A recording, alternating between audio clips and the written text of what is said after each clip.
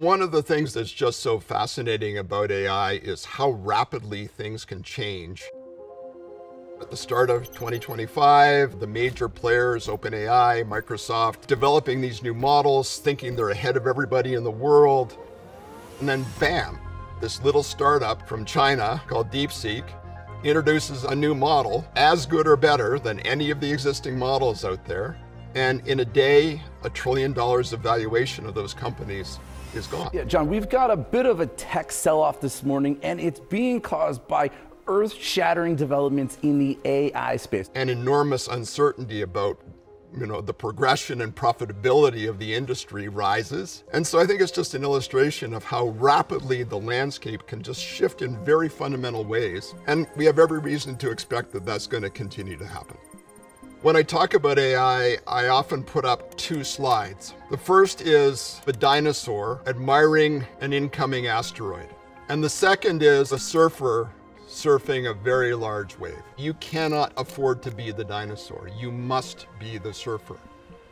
You need to be agile. You need to be adaptive. You need to embrace these systems and try out what's going on because if you don't understand it, you really can't hope to help your organization adapt and stay in front of this momentous, world changing technology. I'm Michael Watkins. I'm a professor of leadership and organizational change at the IMD Business School. I write extensively about leadership, about strategic thinking, and about the impact of AI on both.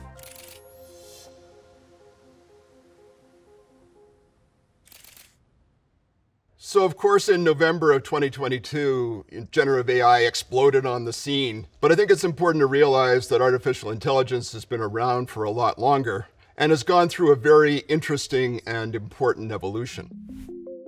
Previously, artificial intelligence was mostly about analytics, machine learning, pattern recognition. Largely, that's been kind of invisible in some sense to most people, except in how they use the tools, like the kinds of things that power your Netflix recommendations or your Amazon selections. But of course, then generative AI really changed everything. And generative AI, as the name indicates, is about generation. It's about content generation, it's about creativity, it's about writing, and it's really changed pretty fundamentally how I think virtually everybody doing white collar jobs is doing their work these days. And of course, AI continues to evolve. The most recent models are known as reasoning models. As the name indicates, these models are capable of what's known as chain of thought thinking. They're reasoning their way through problems step by step in a way that previous generations of LLMs simply were not able to do. And that has enormous benefits for things like solving problems in science and mathematics, planning things becomes possible in a way it wasn't before. And this is again going to generate an enormous change in how the technology is used in business and beyond. So now the cutting edge is really evolving towards what's known as agentic AI. And that's AI as agents, right? Agents out in the world doing things that are important for us. That could be, you know, booking your next flight for your vacation or deciding what you need in your refrigerator to feed yourself for the next couple weeks. And this is really an important evolution because it begins to make AI very active in the world in ways that are going to both, you know, generate tremendous benefit but also potentially create some significant risks. As soon as you see AI beginning to be able to think and reason and then begin to make recommendations and decisions based on that thinking and reasoning, you open up the possibility for serious misuse, serious misguidance, potential for misinformation, even the ability of these systems to influence us in ways that we don't fully yet appreciate or understand. Today, the way we interact with AI mostly is through what's known as prompting, which essentially boils down to asking the AI, either in writing or verbally, to answer certain kinds of questions for us. As you're learning to prompt these systems, there's a few limitations and watchouts you should be keeping in mind. The first is what's known as the hallucination problem, which is the tendency for these systems, if they don't have an answer, not to say, hey, I don't know, but instead to give you some fact that turns out to be completely erroneous. When I started using these systems to write articles, for example, I would ask it for some references, and it would very confidently give me three or four references, which when I checked, did not exist. Now, you can trust their creativity, you can trust their ability to help you generate ideas, but when it comes to facts, you are well advised, very well advised to be double checking almost anything.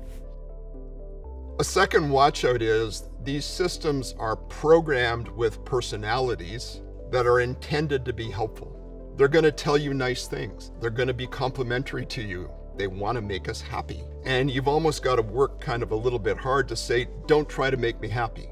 And you can imagine the vulnerabilities that that raises, right? For all kinds of high criticality applications where we need to be pretty certain that the right kinds of things are happening.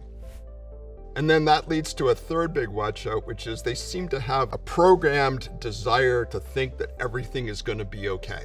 I was writing an article recently about the potential employment impacts of uh, artificial intelligence. And you know, I asked it a question, what do you think is going to happen with employment? Oh, it'll probably be okay if we do the following things. And then I said, well, no, wait a minute. Are you being over optimistic? And if so, stop. Well, it's going to be a disaster. There's going to be probably, you know, loss of three or four jobs for every job that's created. And so understanding that there is this seeming inherent bias in these systems towards a kind of optimistic set of outcomes, especially regarding the impact of AI on the world. And again, you've got to be very precise and very thoughtful to ask the system directly to debias itself, to give you the real truth as it sees it. And even then, you can't necessarily be sure that that's absolutely what you're going to get.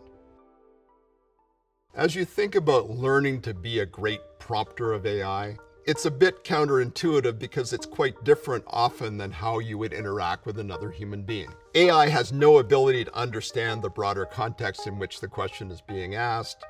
It has no ability to interpret the emotional resonances that you're trying to communicate. This is particularly true with the reasoning models because you're asking them to go through a chain of thinking. And if you start at the wrong point, it's rapidly going to head off in directions that are not going to be all that useful.